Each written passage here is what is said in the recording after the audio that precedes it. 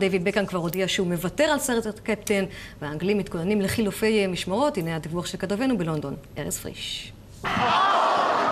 אולי זה היה צפוי, אבל עדיין כואב, האנגלים חוזרים הביתה.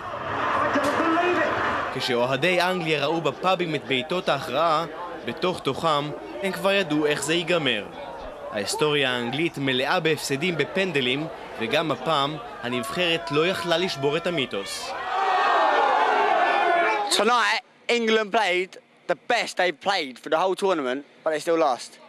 Just shows that we've got the best world-class players in the world, but they can't put it together as a team. האוהדים האנגלים בגרמניה לא ידעו לקבל בהבנה את ההפסד, וכך נראו הרחובות בסיום המשחק.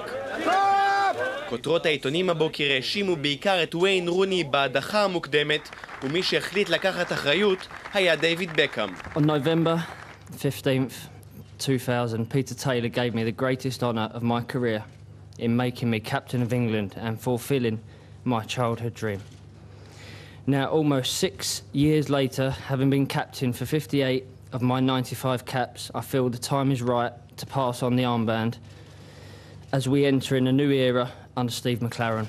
בקרוב כולם יחזרו כאן לשגרת הפאבים בלי נבחרת מקומית לאומית שאפשר לעודד. דגלי סנט ג'ורג' שנתלו בכל פינה כאן לקראת המונדיאל יורדו ממש כמו הגאווה המקומית. הנחמה היחידה היא אולי שהליגה האנגלית ממשיכה להיות אחת הליגות הטובות בעולם. ארז פריש, חדשות 10, לונדון.